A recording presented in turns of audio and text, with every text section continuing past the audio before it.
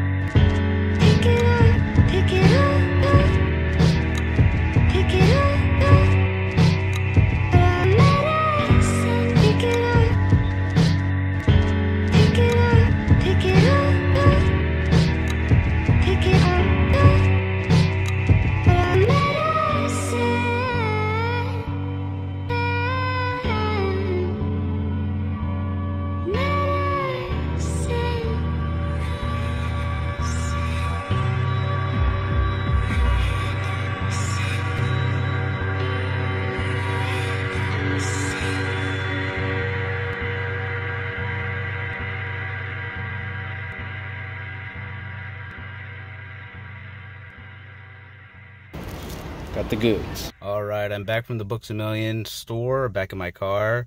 Sorry, my car's a little dusty, but I want to show you guys what I got. So, I went in looking for Fire Punch and Jujutsu Kaisen mainly. And I did find those, but I got these. I got Given. Here's Given. I got Given 1 and Given 2 for a friend because she really likes this series and it's like sold out everywhere. So that's why I got these. Don't care for those who I'm getting those out of the way. I got also Jujutsu Kaisen Volume 9. I think this is technically not out till tomorrow, but most places put it out early. Only copy they had, or only uh, number they had was number 9. They had a couple copies, so I picked that up. You'll need 8. And then I got Blade of the Immortal Omnibus Volume 1. I just pick these up when I can. I know they're kind of going out of print here and there. So I don't have one yet. This was really clean. That's why I paid full retail. Didn't mind it as much. But yeah, there's that. And then the last series, like I said, I was looking for Fire Punch. And I found Fire Punch, Volume 1, the last one I need. Um, probably just gonna, you know, I'm waiting on, it's supposed to be coming, but I don't know when it's coming, but I just want to read it. So bought it again, probably just sell it off when I get the new one. So yeah, that's my haul, guys.